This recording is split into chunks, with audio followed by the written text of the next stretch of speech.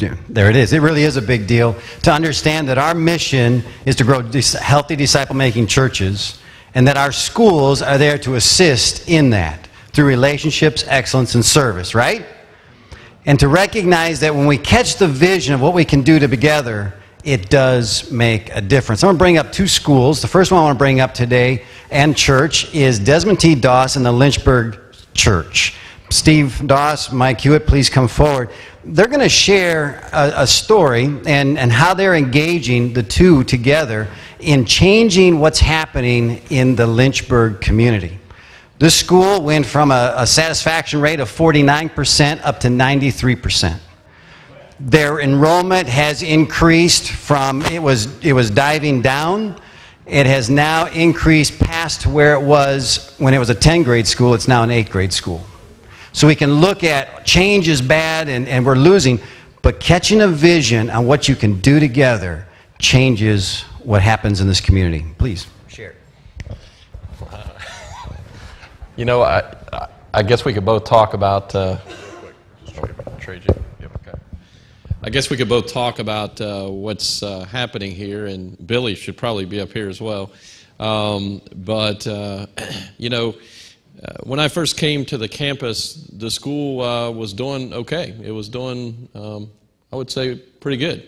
But then shortly after I got there, we lost uh, two sources of subsidy, and uh, we lost some, we owned some wireless spectrum. We lost a subsidy on, on that, and our daycare as well had no subsidy to give us that year. And so things got really, really tight. And our enrollment went down to 47? 47. 47 um, things were headed in the wrong direction. We were cutting our budget. We were doing everything we could to, to work this out. Steve can probably talk a lot more about that. But, um, you know, uh, I really think the game changing moment for us was we've got a group of people together. We went over to the school and uh, kind of surrounded the school and we prayed. And we prayed specifically for 80 students. Uh, we said, Lord, we want 80 students. Well, today we got 76 students. Uh, and uh, we're getting real close. We've got, of course, our Connect kids, and we've got another 13 there. So I guess we're past 80. Uh, but God is just blessed and blessed and blessed. And uh, Steve, I'm going to let you talk a little bit, and then I'll t- talk a little bit more. Okay. Uh, you know, for me, um, I was there when we were at 100. We reached 100 and rolled this tidal wave down to, to 47. And really, the community, the school board, was really concerned about was Desmond Doss going to, was it going to make it or not? And for me, I know, as you well know, that Jesus desires a relationship with our kids. So for me, it was something that am I, I'm picking up what Spears Elder Miller talked about this morning, and it was money and it was uh, at the foundation of it all was money. You know what drives what drives you and i heard it said and i probably said it as well in school board meetings the only way to create to create more money is to get more kids for tuition. So the the it's sort of like what he was alluding to earlier. I'm looking at the kid as money and not as ministry.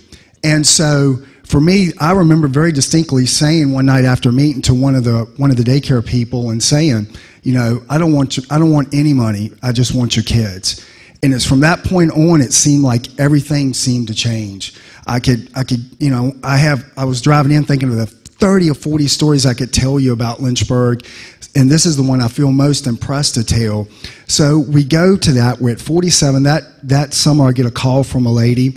She is a she works and heads up the Liberty Bible Institute. You guys aren't familiar with Lynchburg, Liberty University is two miles from our campus. So she brings her, her son in kindergarten and wants to join kindergarten for us. And her profession, her and her husband, are web designers. And so, with reservations, she signs her son up. Well, by November, she also has four. She has four kids. By November, she's signing up her daughter. She signs up her son, and then in March, she brings in her eighth grade son and signs him up.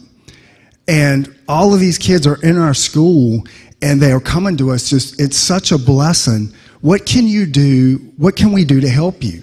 And they went, the puzzle pieces just fell all into place. I shared a board meeting the other night.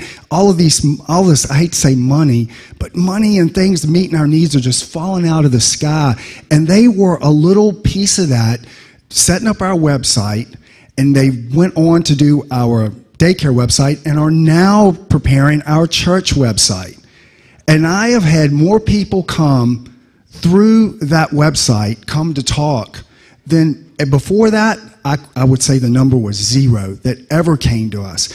And now it's not only the money, the things meeting our needs, but the kids are following this guy. And there are two kinds of kids that come to us. One, obviously in Lynchburg, the Baptist is very strong there, so they have a very strong foundation, Baptist foundation, or they're completely unchurched.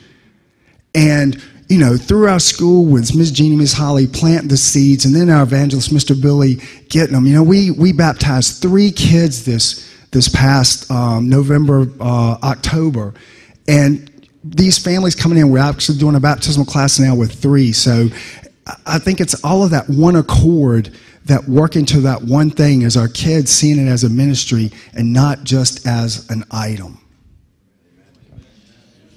You know, the, uh, I guess what I really want to talk to you about for just a couple minutes is um, what we're doing um, there on the campus. Um, of course, we're doing a week of prayer in the spring and in the fall. Uh, Billy, Wright leads those uh, uh week of prayers.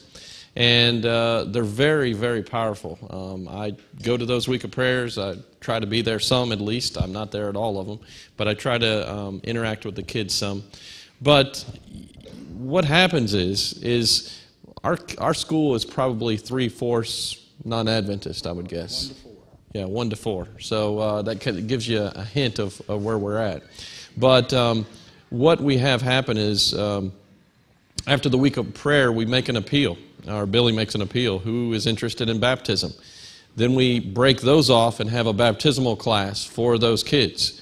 Um, Billy leads the baptismal class, sometimes Steve, but I think mainly Billy. Um, will leave the baptismal class. And then, right at the end of that, after he's taken them through the baptismal class, he calls me in. And when he calls me in, then, you know, I knew when I got there that we had some kids who had been baptized in our school that were no longer there. And that bothers me.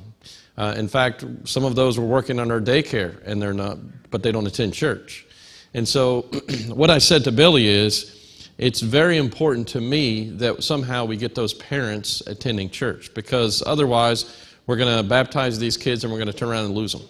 So, immediately, what we did was we call um, the parent and the child in together, or parents and, and the child in, and um, we celebrate the fact that this child has made a decision for baptism, and we really celebrate that well. But then what we do is we ask the parent, you know, hey, we just let them know. We're very excited about the decision your child has made. However, we realize that if, you know, we just baptize your child, chances are they're not going to stay with the decision they're making. We need them to be at church, and we need them to be there every week. And more than just being at church, um, you know, it's one thing for mom or dad to drop that child off, um, we need you to bring them. We need you to be there with them. And so, what we do is ask the parents to make a commitment to be at ch- church with their child, and they come. they say yes. And uh, since then, we've started to baptize the parents. Um, and uh, it's just amazing what God is doing. It's just very, very exciting and amazing right now. Thank you, Mike and Steve, for sharing that. And it is, they, they do take this seriously. I remember we were doing a blitz in the area, and that morning you had a parent call you to say, I'm sorry, we can't come to church today. How many, how many parents call and say, I'm sorry, I can't come to church today? Isn't that right? The child, someone was sick in the home and they could not make the, the commute, and therefore they could not attend. Wanted you to know. Just, Pastor, I want you to know. Praise God for what's happening in, in Lynchburg and, and Desmond T. Doss School. Thank you so much want to bring forward now, yes.